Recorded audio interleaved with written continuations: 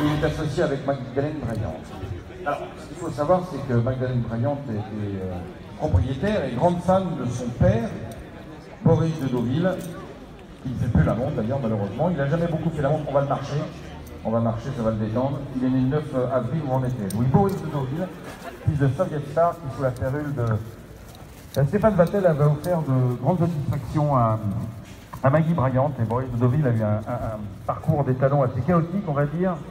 Il avait débuté ici, mais il s'était blessé de bonheur, reblessé assez rapidement, euh, un peu disparu dans la nature, vendu euh, au nord de Paris dans une vente générale des, étalons des haras nationaux acheté par ma, racheté par Magdalene Bryant qui était au téléphone avec le jeune Louis Técher qui n'en croyait mot lorsqu'il a levé la main pour la première fois pour acheter Boris Deauville, installé au Haras du Chêne Vert, à, au côté du Nœud d'Angers, à 40 000 exactement.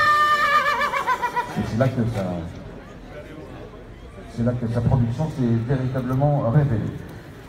Maintenant, il ne fait plus d'amour. Voici donc pour Boris de Deauville, tant que la mer plus être du seuil qui ne quitte les network.